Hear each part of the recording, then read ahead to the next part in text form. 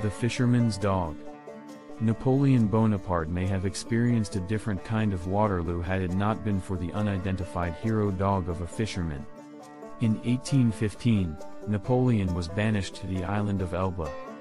He fell from his ship in choppy waters while trying to escape the island and was saved by the fisherman's dog.